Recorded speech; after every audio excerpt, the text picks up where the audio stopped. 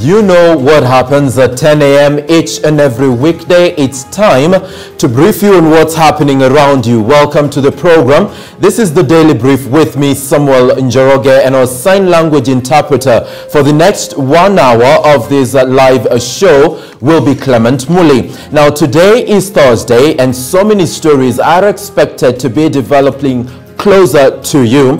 In fact, this morning we've got detectives from the Office of the Directorate of Criminal Investigations still camping outside the Runda residence of Keroche Brewery's CEO, that is Tabitha Karanja, as well as the Naivasha offices. And we've got our team on the ground, and in the course of the show, we'll be briefing us on exactly what will be happening in as far as this story is concerned. The Water Principal Secretary is also headed to Gatanga to commission various water projects in this particular area, not to mention the judge's colloquium is still ongoing in Mombasa County. And also this day, we expect uh, the family of the late uh, first president of the Republic of Kenya, that is the late Mzee Jomo Kenyatta, to be leading the nation in commemorating the 41st anniversary since his death. You are right in time for the show that will be briefing you on this and much more. And kicking us off is Fred Kai from Mombasa County, who will be telling us of a protest or demonstration that is currently ongoing in Mombasa. We've got women Sam. Naam, Sam, kama ulivyosema hapo awali ni kwamba uh, mwendo si muda si muda si mrefu sana. Tuliweza kuona kwamba wamama waliweza kufika hapa kuweza ku, ku, ku, ku, ku, kuweza kuona kama iwapo basi wataweza ku, kuonana na Chief Justice David Maraga, manake wameweza kufika hapa waki, wakiwa wanalalama kwamba watoto wao ama uh, vizazi vyao basi vinaweza kuharibika na, na shida kubwa ya madawa ya kulevya, na ndiposa basi wameweza kufika katika hoteli hii ya Westlands ili kuweza kuona iwapo basi wataweza kuonana na David Maraga ambao ndio Chief Justice wa nchi yetu ya Kenya. Na mat- matatizo yao mengi walikuwa wanasema kwamba uh, washukiwa wa, wa ulanguzi wa dawa za kulevya basi wanapofikishwa mahakamani huweza kuachiliwa pasipo kuchukuliwa zile, uh, zile sheria muhimu ama zile sheria ambazo zinaweza ku- ku- kuwafanya, kuwafanya washukiwa hawa basi kuweza uh, kutokuwa karibu na, na jamii. Na wa, wa, wakazi hawa basi wameweza kufika hapa, wamama kwa, kwa baadhi ya wazee wakilalama basi kwamba kwa nini uh, majaji wanaweza kuruhusu uh, walanguzi hawa ama washukiwa walanguzi wa dawa za kulevya kuweza kuachiliwa huru pasipo uh, kupata kupata haki na moja kwa moja basi tuweze kujiunga tu na baadhi ya, ya, ya, ya, ya wakazi ambao walikuwa wameweza fika hapa. Tuanze tu na majina yako ni nani, na tuambie tu ni kipi hasa kilichowafanya mkuja hapa leo? Uh, mimi naitwa Joseph Faraga. Kile kimefanya hichi kikundi kije hapa ni kwa sababu tumejua kwamba majaji wako hapa, na hao majaji akina mama wana kilio kingi sana, kwa sababu watoto wao wamepotea, hawajiwezi nyumbani. Kila mama akiweka, akiweka kitu chake kinachukuliwa na mtoto, anaenda kuuza ili apate madawa, hata kuiba wanaiba. Sasa eh, ja, kesi zikifika kotini tunakuta ya kwamba kesi zinaendelea zinaendelea, lakini washtakiwa huwa wanaachiliwa baadaye. Kwa mfano kesi ambayo ya vijana ambao walioshikwa wakapelekwa Amerika ilimaliza hapa miaka nenda miaka nenda kabla haijatatuliwa. Hivi imeenda Amerika muda si muda wamefungwa miaka ishirini na mitano. Je, kwa nini hapa wasifungwe wale watu ambao na si hao tu, tunasikia kuna wengine ambao wako hapa wanatakikana huku. Mbona majaji wa, eh, kesi za hao watu wakifika kotini, mbona wasifungwe? Na inahitaji kwanza wafungwe maisha, kwa sababu vizazi ambao tunategemea uh, mwaka kesho as leaders ni hao vijana, na kama washatumia washa madawa ya kulevya, hatuna kizazi mwaka ujao, hatuna kizazi miaka ijao, hatutakuwa na Kenya. Kwa hivyo tunataka Kenya, eh, eh, serikali ya Uhuru Kenyatta isishike mwa- do, doria vizuri, majaji kama ambao ni eh, wa- wa- walagai washtakiwe.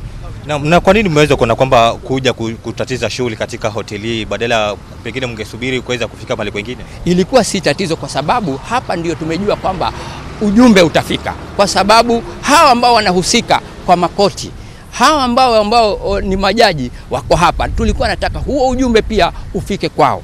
Uh, shukrani sana kwa muda wako. Na- Naam Sam, tumeweza kuona kwamba uh, uh, wakazi hawa basi wameweza kutolewa katika eneo hili na, na askari eh, kwa sababu wameweza kuona kwamba uh, wakazi hawa walikuwa wanaweza kuleta vurugu, lakini uh, hamasisho lao wanaweza kusema kwamba ujumbe wao mkubwa umeweza kuwafikia wahusika kwa sababu wameweza kufika hapa na waka, wakalalamikia uh, yale matwaka- mat- matakwa yao ambao uh, yanaweza kuwakera katika uh, eneo hili la pwani hususan uh, madawa ya kulevya. Kwa hivyo uh, wanasema kwamba ujumbe wao umeweza kumfikia jaji mkuu, iwapo hakuweza haku hakuweza kutoka katika uh, kuweza kuonana na, na, na wakazi hawa, lakini wanasema kwamba ujumbe umeweza kumfikia jaji mkuu. Na hapa tulipo basi tunaweza kuona kwamba askari wameweza kufika na wanaweza kushika doria, wameweza tayari kuwafurusha uh, wakazi hawa, na kwa sasa basi hali imerudi kuwa shwari tutaweza kukaa hapa tuone iwapo basi uh, jaji mkuu ataweza uh, kuyaongelea haya ambayo amejiri uh, asubuhi ya leo ama ataweza tu kuyapatia uh, sikio la kufa.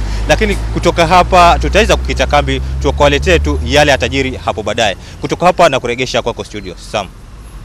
Thank you so much, Fred Kai, for that update from Mombasa County, where women are leading the Mombasa residents to the White Sands Hotel, where the judges' colloquium is currently ongoing. It has been there for this one week, and of course, the grievances are all too familiar with the residents of that particular region. The participation and in the participation and input of the judiciary when it comes to ending the menace of drug addiction in that particular region. Now I need you to go to the courts, or we need to take you now to the courts where Cyrus Jirongo, politician and businessman, is currently in court. Let's cross over there and listen into what's happening. that an accused person had been marooned down here by police officers, disregarding the fact that these are court premises and the accused person should not. I had to plead with police officers to go and arrest the accused person from outside. Mr. Maxwell Otieno. Let's not behave like that. The courts do not stop you from arresting an accused person. The courts only request that court grounds are sacrosanct. It is within the court grounds that people are free, leave alone even your home.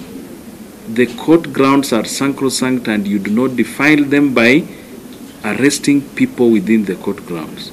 You can be sure I cannot stop you from arresting an accused person outside outside the court premises, but within the court compound, respect the independence of the judiciary that it has its sacrosanct grounds within which it operates, okay?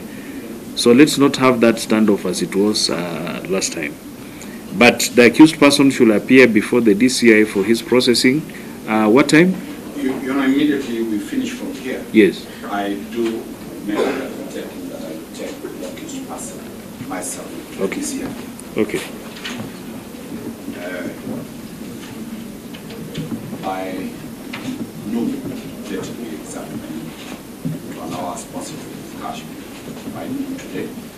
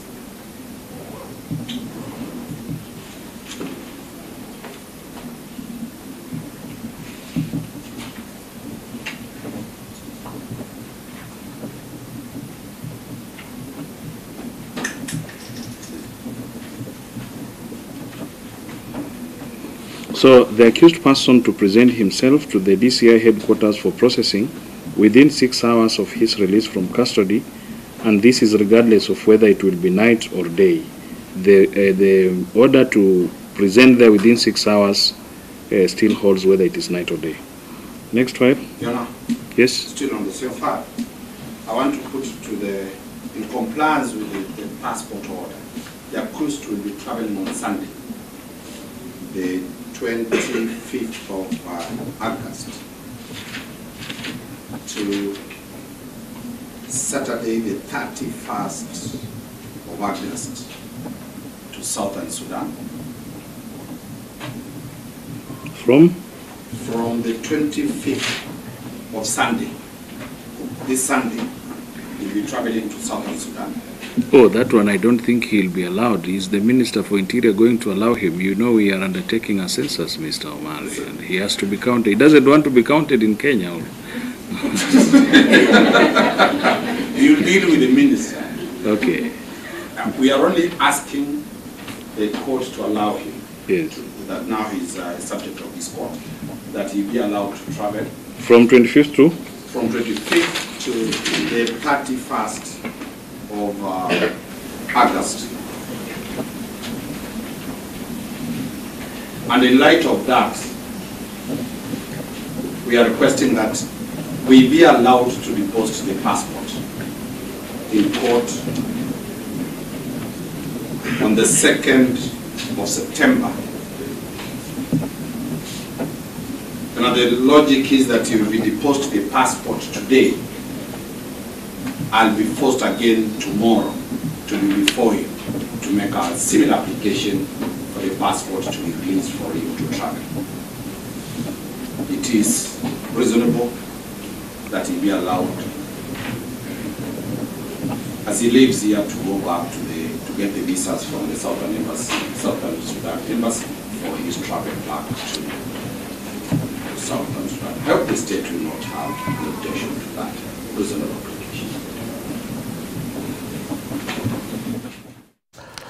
Former Lugari lawmaker Cyrus Jirongo had been ordered to appear in court today, Thursday, to, uh, to answer to fraud cases where he is accused of having forged documents to secure an overdraft of 50 million uh, Kenya shillings. And that case is currently ongoing in court. And we shall link up with our team on the ground in the course of the daily brief for more detail on that particular story. Now, also happening uh, is that uh, Wahun Goge, our correspondent from Nyeri County, joins us right about now with an update from that region. Wahu, thank you so much for joining us this morning. Kindly bring us up to speed with what's latest from Nyeri County. Well, thank you very much, Sam, and uh, good morning. Uh, today we are looking into land dispute and succession. And yesterday, Sam, just to let you know what happened, a guy was uh, killed in Gangarithi area because of uh, the issue of land. And actually, when I was listening to whatever they had to say, they were saying that uh, they were fighting over a, a piece of land that was left. But then again, uh, Wakili was telling me that uh, it was uh, it was not succession. It was another. It was a totally different case, but it was still on the issue of land. So I'm joined by Wakili Wahome Gikonyo, uh, and who will be explaining to us. Uh, now that Wakili, you know, some in Nyeri County, you've never had an issue of people. Um, killing each other because of land. This one is the first case, and uh, which is uh, has made us do this today. Maybe Wakili, what does it take to for a court to go into and get into a case of uh, land dispute? Like yesterday, a man was killed, and as you were telling me, that uh, the court has to come in, uh, starting from the chief maybe of the area, now getting to the court. Maybe you can explain to some and our viewers Yes. there. Now, firstly, uh, a chief uh, has nothing to do with a land dispute, eh? or even a succession matter. Her- the, sh- the law of a chief is simply to issue an introductory letter to the court, telling the court, yes, the deceased came from my area, is known to me, and he left the following, uh, the, the, the following, the this family These are his children, this is the, the widow, and he left this parcel of land. The rest is for the court to hear and determine the matter.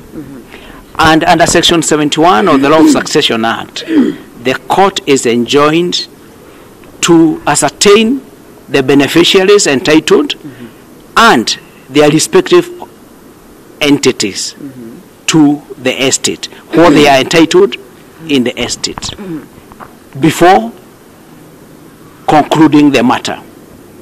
The issue in Gangalidi was not a successional matter. This is a dispute that started way back in the 1960s, where one person was purchasing a parcel of land, but the deal went sour.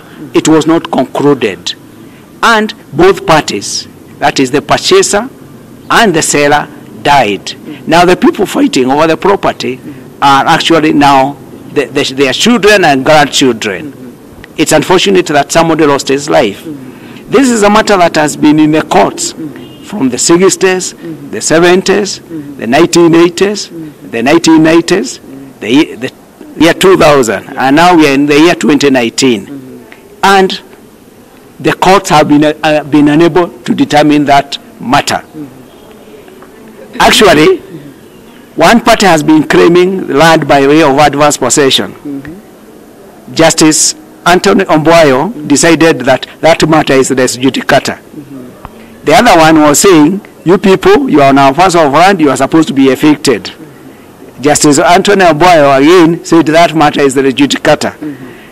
In fact, it was very interesting. As far as I'm concerned, I actually said that is like a, a football match which goes into a draw. None has scored against the other. But it is a very sad state of affairs because the, co- the courts ought to have decided whether indeed the whether the family that is claiming adverse possession whether they are entitled to that land by advance possession or the other side which is claiming these people are trespassers they are entitled to an order of eviction if the court had decided that, that, the matter that way, we would not have found ourselves in the situation that we found our, uh, with ourselves yesterday, where a gang came to t- attempt to evict the family because the courts have not decided. When the courts fail, people are tempted to take the law into their hands, and we, we end up in a jungle Now hmm? that uh, the state of affairs. Okay. Yes. Now that the gangs were used yesterday, now Yes. this case has turned into something else. Yes. Mm-hmm. Uh, the court and the government should come in mm-hmm. and find a solution. Mm-hmm. And the best way to go about this matter is alternative dispute resolution by way of having mediation. The, the court and the Chief Justice have introduced court annexed mediation. That matter now should be reopened and they go to mediation. They seek uh, the best way to go about it and by having sit down with a mediator, agree on the way forward, they greet each other and they go away happy. Thank you. I can let you go to Karatina now. Well, uh, that was Wahome Gikonyo, and actually he's rushing to Karatina, and that's why we had to do this very fast. And some you've heard him said, actually, I've learned a, a new word, but actually I can't say it. Anyway, Sam, back to you in studio for now. I'll catch up with you later. Wahoo, thank you so much, and uh, congratulations on learning a new word uh, from Nyeri County. We need to move on with other events that are unfolding as of now, where the President of the Republic of Kenya, that is Uhuru Muigai Kenyatta, is this day expected to lead the nation in commemorating the anniversary of uh, uh, death of the founding president of this nation, that is the late Mzee Jomo Kenyatta. And we've got our reporter Daniel Kariuki who's following up on this story and now joins us live with an update on exactly what we can expect from his end. Dan, thank you so much for joining us. Kindly bring us up to speed with what we can expect from your end. Right, uh, you said it right, uh, Sam. Anytime from now, uh, the president is going to make, be making his way into the Holy Family Basilica uh, for the service, the memorial service. This is the 41st uh, memorial service uh, since uh, the founding father uh, passed on, and of course, it will be the seventh uh, memorial service that uh, uh, the son. Uh, uh, President Uhuru Kenyatta is going to be leading the country uh, since he uh, was elected uh, as the President of the Republic of Kenya. Well, uh, of course, we are waiting to see what will transpire here at the Holy Family Basilica, the speeches that will be made, and uh, other guests that are going to be making their way into these uh, uh, uh, for the, these surveys uh, today. Remember, last year uh, during the uh, for the decade since uh, uh, the passing of the founding father, uh, we saw the um, former prime minister, or rather the ODM leader, Raila Odinga, was part of the guests who are here. And remember, that was when the two leaders had. Held talks in uh, the office of the president, that's the Harambee House, and had a handshake. And so uh, uh, th- that day, the president invited the ODM leader to speak to the congregation, and of course, they called each other brother, uh, my big brother, and uh, uh, well. Today we are going to be looking forward to see what uh, maybe will change and maybe the speeches that are going to be made so that as, uh, as um, I had told you earlier on, uh, the president is uh, actually going to be having the seventh. Maybe he's going to just tell some of the things that uh, uh, he has managed to uh, uh, to achieve as a president, bearing in mind that uh, uh, the Building Bridges initiative has been going around collecting views on how they would want the country to be, and that is what that was part of what formed the speech last year, as the two leaders maintained that they want this country to be united the way the founding father and those who fought for the independence of this country wanted it to be. So today we'll see so far have they managed to bring Kenya uh, together, and if they have, how far have they managed to bring it, uh, the Kenyans, the unity of the country. So we'll keep our viewers updated, and of course, in all our subsequent bulletins, in case of any political stories or in case of anything that is going to be happening here at the Holy Family Basilica. For now, we understand that the president is uh, at the uh, uh, at the um, parliament buildings where the founding father was uh, buried and uh, is laying flowers there. So we are, of course, going to be waiting to uh, see uh, what is going to be going on as we go on. Now, take you back to Sam in studio. Right. Thank you so much, uh, Dan uh, Kariuki. And as you say, currently the first family uh, is at uh, the mausoleum where the founding president was laid to rest, where they're laying a wreath on uh, that particular. Yeah, that is what is happening from uh, right here in Nairobi. But we need to move on with other stories of the day. And I have. Uh, Jim India with me right here in studio, and I would like him to weigh in on the issue of uh, the census because, as we will be informed in the course of the show, Kilifi youth uh, strike over census, and Naivasha too. There is a similar story that is currently uh, developing. So, first things first, Jim, welcome to the program. Thank you, Sam. It's a pleasure to have you on the Daily Brief this day, and. Um, are you convinced that as a nation we are prepared to conduct and embrace the 2019 population and housing census? Um, thank you, Sam. Uh, I am definitely convinced that as a nation we are prepared. Uh, the, Kenya, the Kenya National Bureau of Statistics is definitely prepared. There are a few issues around it which uh, is maybe as a result of mismanagement and poor timing and things like that. For instance, a lot of the youth who have been on strike, for instance, last week in Nairobi, we had youth in Kangemi on strike. After that, we have youths in different places being on strike, and it has been a result people saying, we want jobs, we belong to, we are from Kangemi, we do not see the, the youth of Kangemi on this list. But others are like, I've seen a lot of posts and friends of mine telling me they have not been paid any money, they have not been, uh, they do not have the, the requisite uh, allowances that they were supposed to be paid. And so a lot of it has to do with the logistics of uh, the, the government just paying these people. But majority of it is I think we are ready to do to conduct the census. We've been ready for the last 10 years. People will be counted. The shortcomings notwithstanding, and we will get the data that we definitely The need. controversy, though, with, that comes with this kind of an exercise.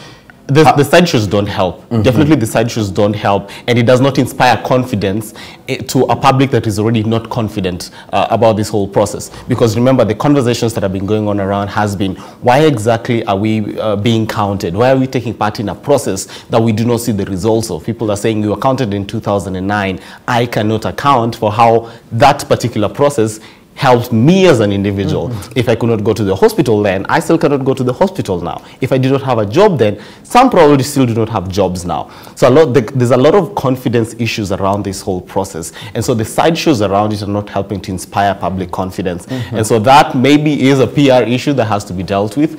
But to say that we will, this process will be conducted, that is for sure. And government has to do it and it will be done. Well, government needs to do it, it will be done, but the quality of how it will be done will determine uh, the next uh, the next course of action.